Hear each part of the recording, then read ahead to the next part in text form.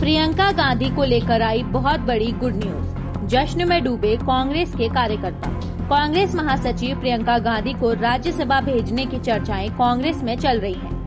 प्रियंका गांधी 2017 से ही active politics में है और उत्तर प्रदेश का जिम्मा संभाल रही हैं। लेकिन अब तक वह किसी भी सदन की सदस्य नहीं रही हैं।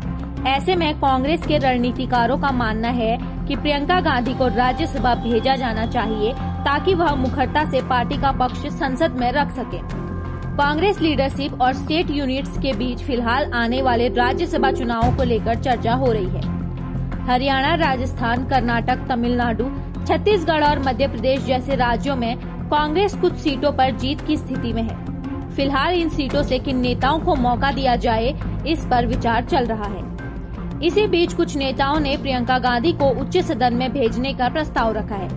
हालाँकि अब तक प्रियंका गांधी या फिर परिवार के अन्य किसी सदस्य ने इस बारे में कुछ भी नहीं कहा है।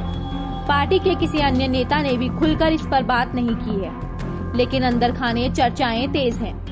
कांग्रेस सूत्रों का कहना है कि प्रियंका गांधी को अमेठी या फिर रायबरेली से लोकसभा चुनाव लड़ाने पर भी पहले विचार किया जा रहा था। लेकिन अब इस पर इरादा बदलता दिख रहा है।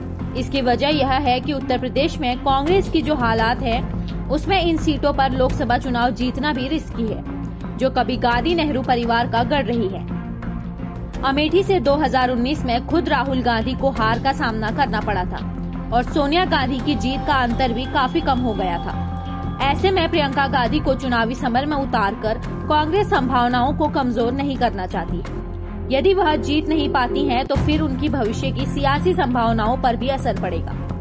इसलिए कांग्रेस पहले ही मुकाबले में उन्हें कठिन मैदान नहीं देना चाहती। राजस्थान कर्नाटक समेत कई राज्यों के नेताओं ने हाईकमान से यह इच्छा जताई है कि यदि प्रियंका गांधी उनके यहाँ से राज्यसभा जाना चाहे तो उन्हें खुशी होगी।